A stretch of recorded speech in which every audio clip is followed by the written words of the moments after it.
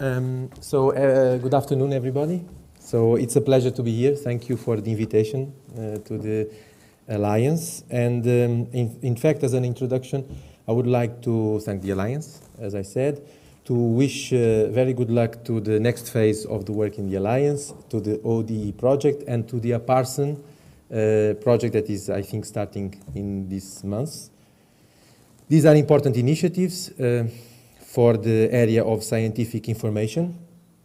And there are several aspects to it, as, as the, was said during the different presentations this morning and this afternoon. Um, and uh, I am here from uh, the Information Society DG of the European Commission. My colleague uh, Lina will talk after about uh, also parts that are very much related with work on infrastructure. So I hope that we will be clear on our objectives and targets uh, that we are uh, pursuing. So uh, my presentation will, uh, in brief, talk about e-science, e-infrastructure, the digital agenda, as was said this morning, the information high-level group on scientific data. The report was presented, and uh, Salvatore was right. There would be a third person talking about it, at least. Um, the European Framework Program for R&D, and of course, uh, scientific data.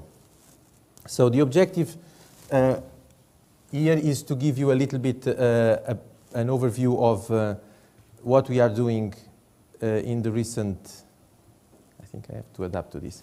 So the digital agenda is the policy framework um, that we are, uh, in which, that frames our work, but it's not the only one. Uh, so in May, roughly, our commissioner, Neelie Kroes, presented the digital agenda for Europe as the part of the flagship initiatives that uh, uh, under the European 2020 strategy. Uh, but there are other flagship initiatives in which the scientific data and scientific information are relevant. And I'm referring to the Innovation Union, the, the one that is run by our colleagues in uh, DG Research, uh, which has uh, strong links with this, actually, this washing machine kind of picture that we we show, um, and John referred to as being uh, summarizing some of the gaps or the most important gaps that we should tackle in, uh, in the coming, in the recent future, in the, in the future, in these uh, five years to come.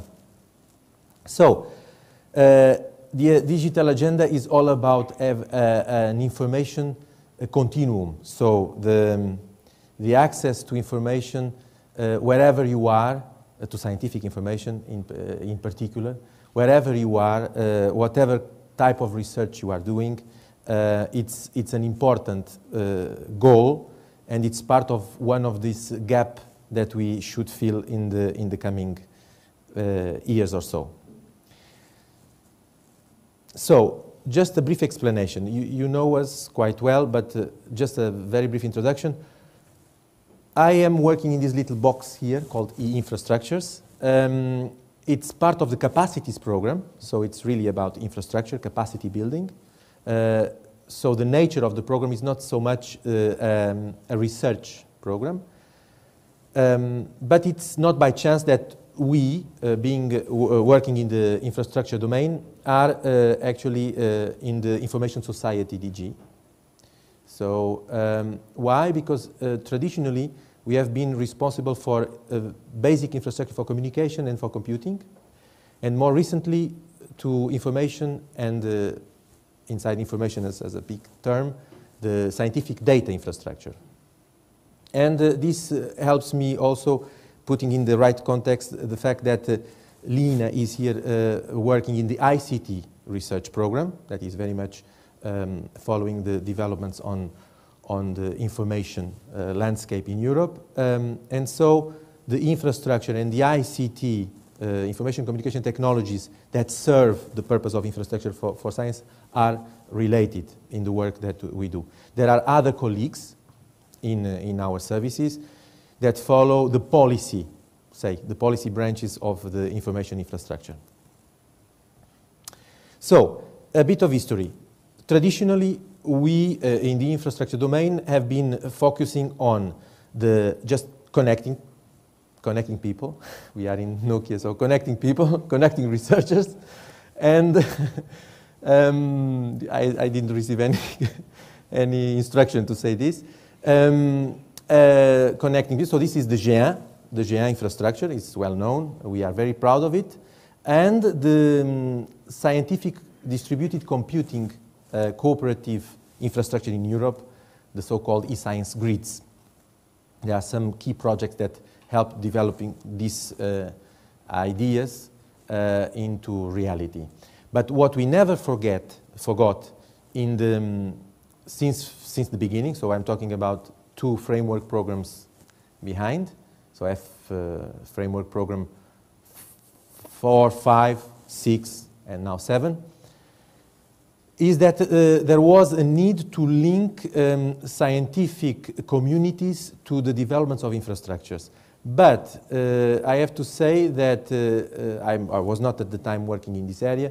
Uh, my senior colleagues um, refer that this was really more driven by technology than by the communities themselves. So the GÉANT network being an horizontal layer was really interested in getting the best performant network serving uh, research institutions and uh, res researchers and scientists and, and, universities and so forth.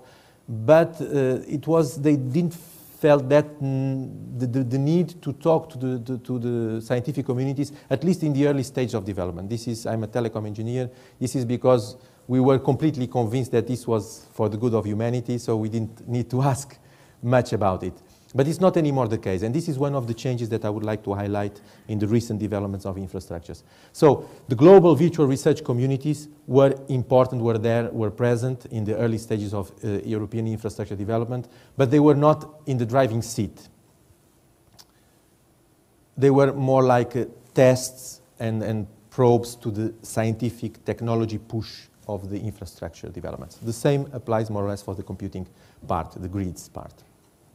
Now, what happened is that uh, in FP7, so very recently, two uh, new layers were introduced to, to this. One, uh, you see at the bottom called new e infrastructure, actually stands for the supercomputing, uh, high performance computing layer, which is now has a name, it's PRACE.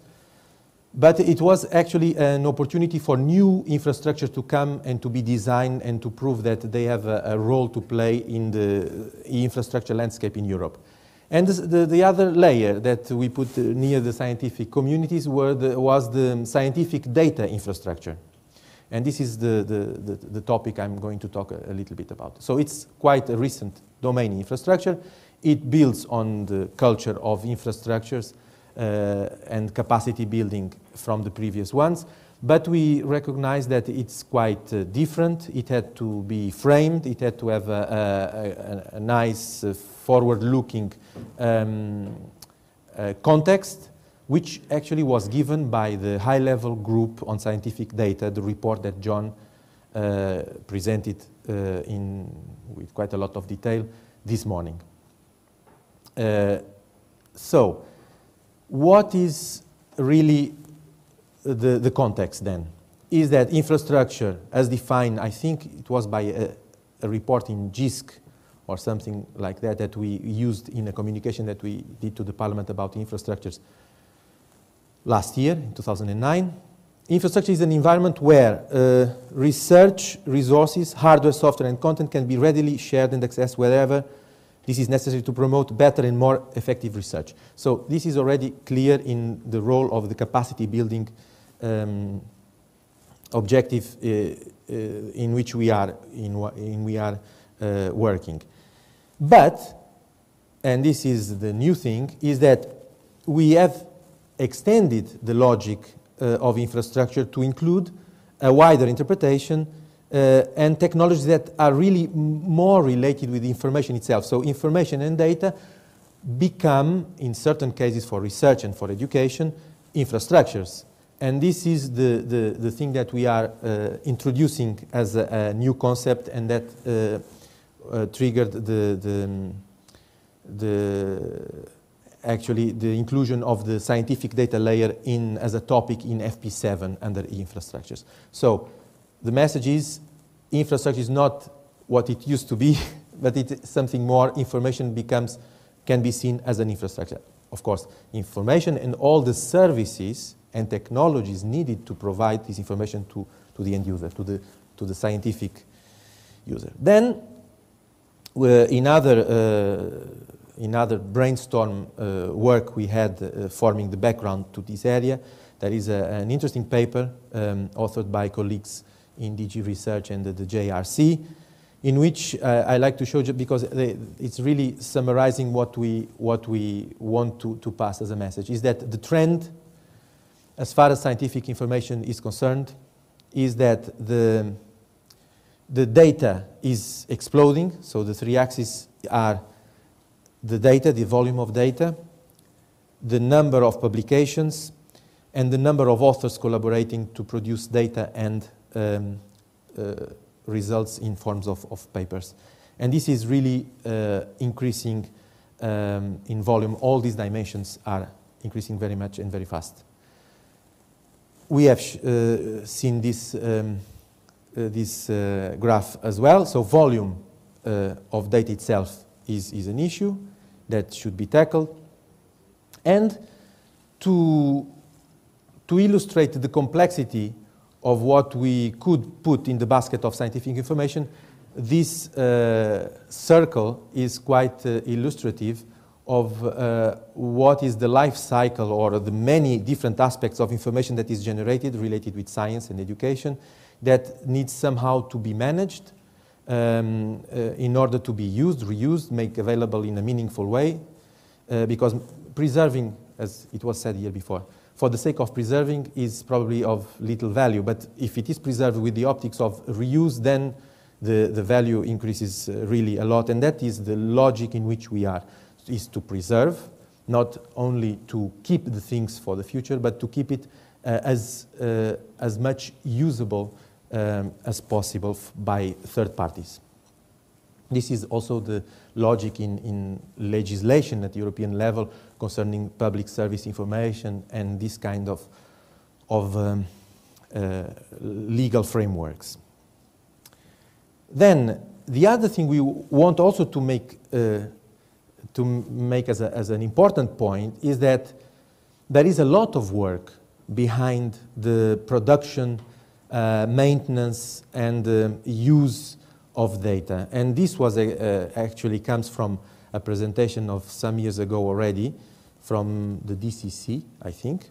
It's um, an estimation of the order of magnitude of the costs associated with different uh, types of information, from raw data to reliable uh, software code produced by, by human beings, actually, by intelligence. So there is a lot of sweat and a lot of creativity put in, in it, and this has a cost. So information is produced and there is um, value added from, from each every time that is um, a human, uh, the, the, research uh, brings uh, actually knowledge into the, to the raw information.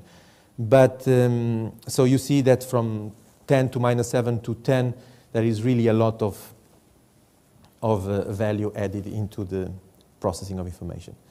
Now, as an information parenthesis, I referred to it already. In 2009, the Commission issued a communication on uh, ICT infrastructure for e-science.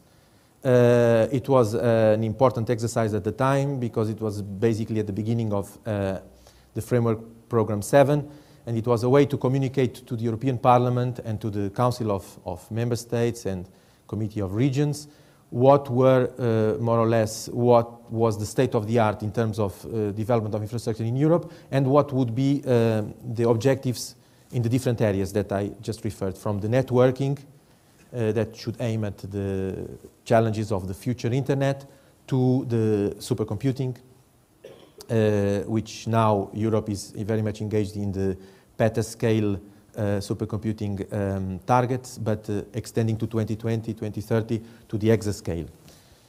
So this communication was an important uh, stock-taking exercise, a nice dialogue, and it was actually the discussion with member states was really important and useful to, to, to bring forward these three aspects of infrastructure which are really the strategy for, for the area.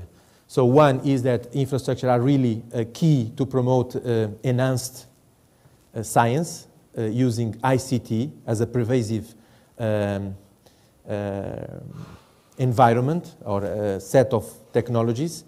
Um, so empowering, actually. So this creativity machine that is all technology that surrounds us for the purpose of producing new knowledge and transforming new knowledge and making it uh, accessible. The other axis is the one that really distinguishes infrastructure from research on ICT, which is the fact that we, we expect that infrastructure, above all, are, are very dependable, reliable, so 24 hours a day available, seven days a week. So there is this component of servicing the research communities.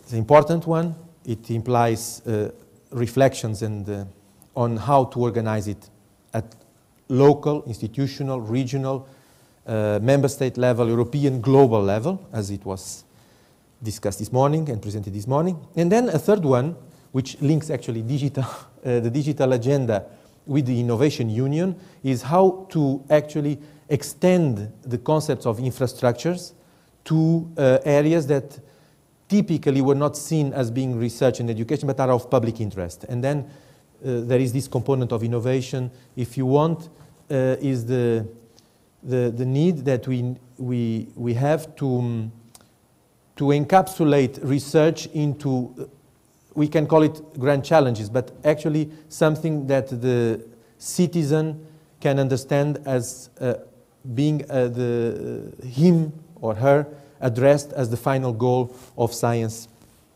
and, uh, and research activities. So the innovation aspect was well present. Now we have even a, a flagship very, very high in the agenda of European uh, Europe 2020 strategy. So these three aspects were, came out from the communication.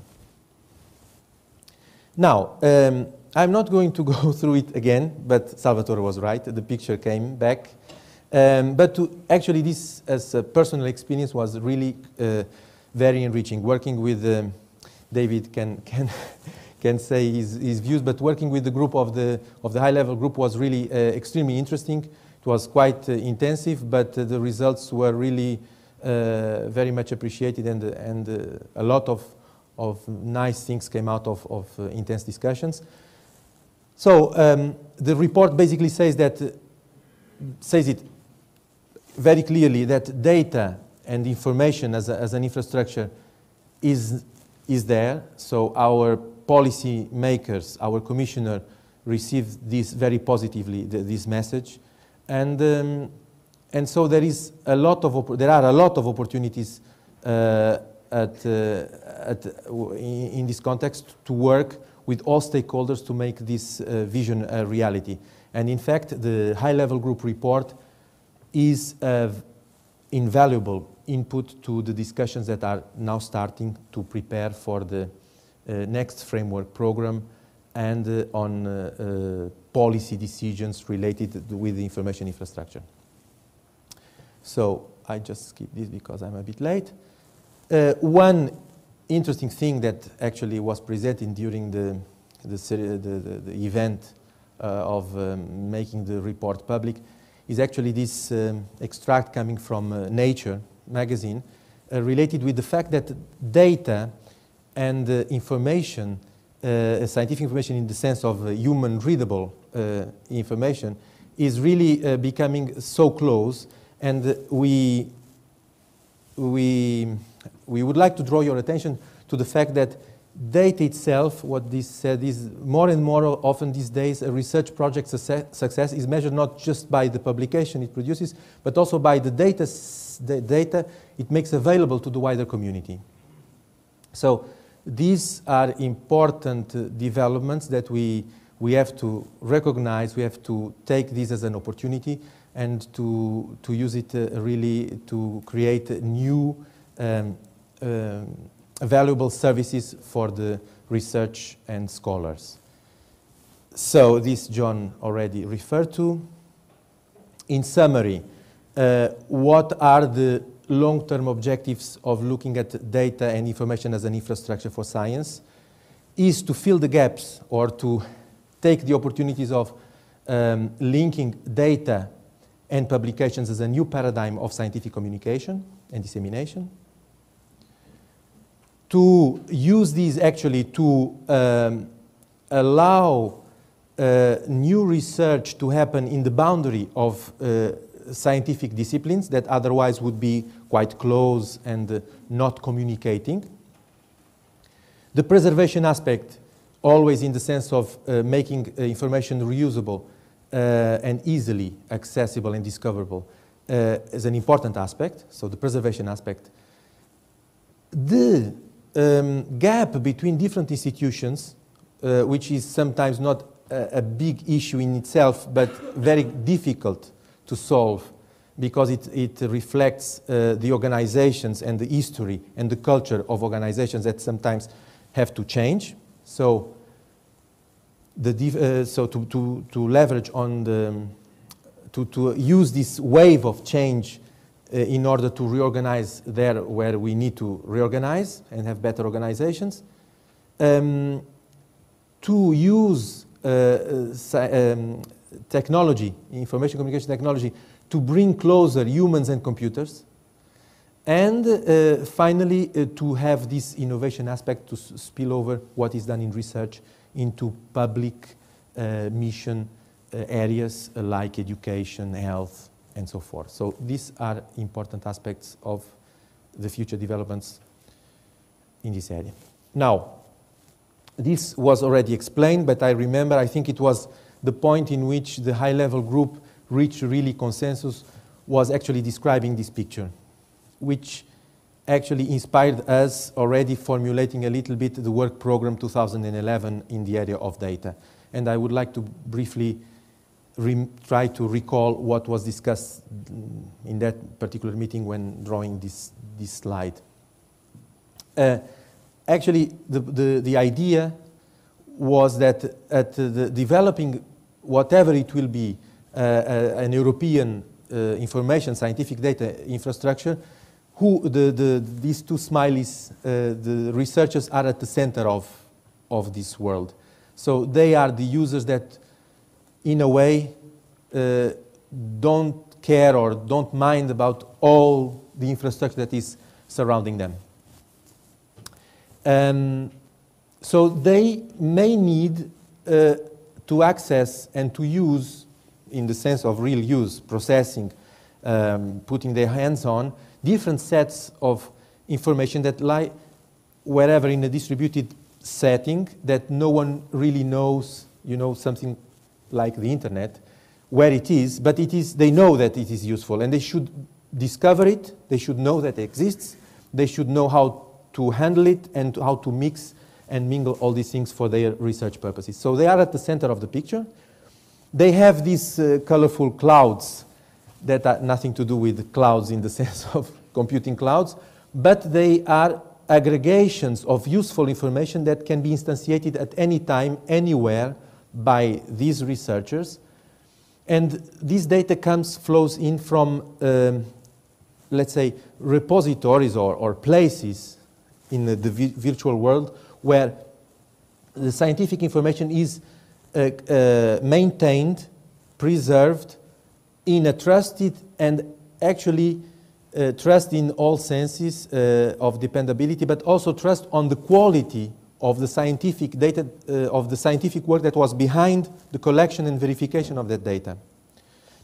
And as far as I understood, it's really difficult to move away from or, or to dispense this layer where the scientific communities have the specialists that understand really what they are talking about uh, uh, when they verify and they can put this uh, data available.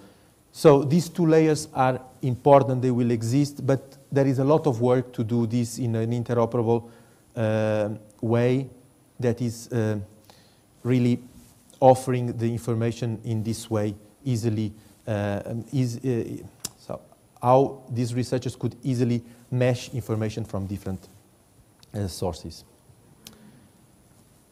So, where are we?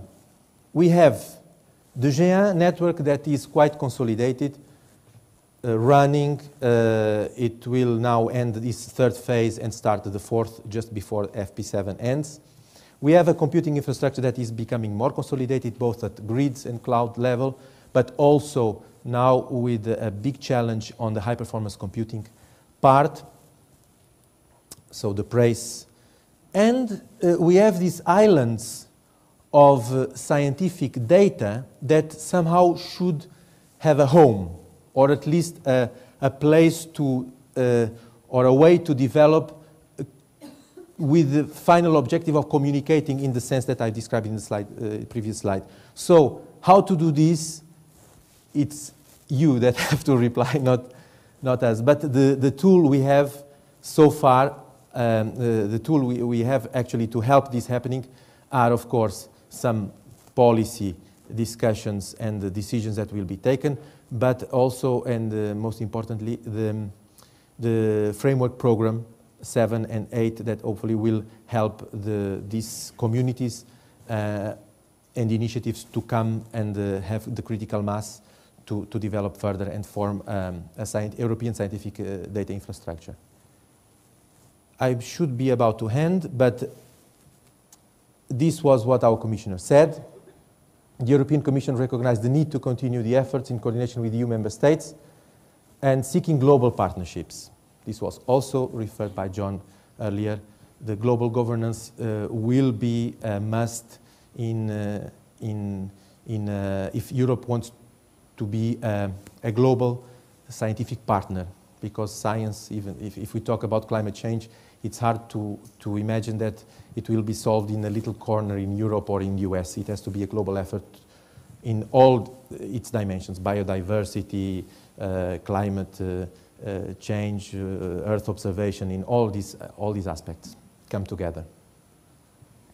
Yes, and this is an extract from, from the report saying that actually the pervasiveness of technology is, uh, is forming a layer that together with all the researchers and brains working together is really a very powerful creativity machine.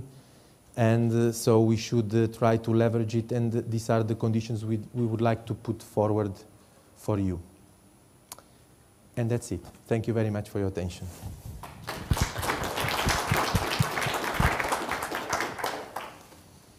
So we're, we're running a little bit, but since Carlos will be here uh, for dinner, uh, I suggest we, we do take some sure. questions. Yeah?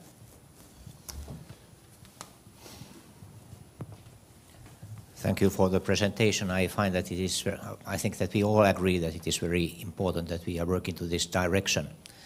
At the Finnish Research Councils we have had since 2009 so that we demand that all the research proposals must include an information management plan. That is practically the same as data management plan, but it is also a bit wider so that it is also the research architecture that you have to present. But I, I, find that when looking at the proposals that have been coming, that it's really very much work still to do because it is not a part of the research process. So that is, even though we recognize many of these needs, but we have to go much deeper to the process so that the first questions are who is responsible for storage of the data.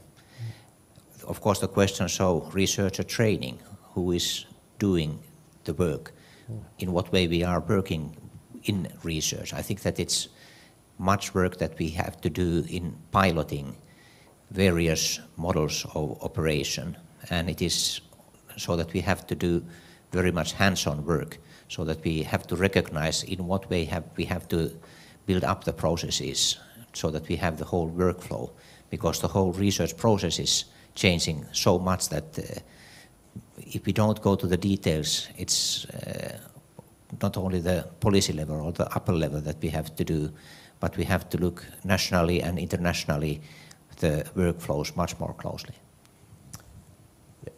I would not only agree, but uh, I think that the, what you are touching a very important point is that if any, uh, say, suggestion or decision is taken on how proposals, even in a very practical way, how proposals should be submitted in the, the, the European framework con uh, context, then you have this problem actually of really how to implement what you really require from. And there, there are actually gaps that are recognized as, as being such gaps, like the the data scientist skills to, to actually operate it. So how uh, projects could actually uh, get this expertise if they don't have them inside projects in the sense that initiatives that started are funded and are required to do have these plans and put them in practice. So there are a lot of uh, open questions, but uh, it's not really gaining time or buying time, but uh, we have this uh, in, in the pipeline.